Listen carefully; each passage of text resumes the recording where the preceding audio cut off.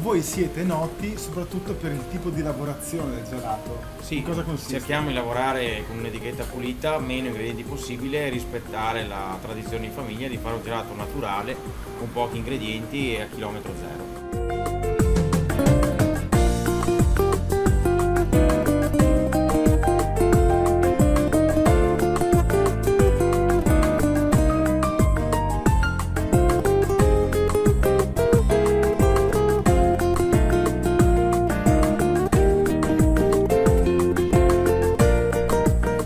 L'altro fate anche dei gusti molto particolari. Sì, da sempre sperimentiamo gusti nuovi, tipo l'habanero, l'hanno inventato l'anno scorso, oppure gusti ai formaggi, tipo gorgonzola, la bufala, o anche semplicemente peperone, pomodoro, la carota. Oggi c'è la grappa e Il sedano c'è Il oggi sedano. anche poi. Il basilico. Il, basi- il basilico E questo è il nostro basilico. fresco da assaggiare. Eh sì.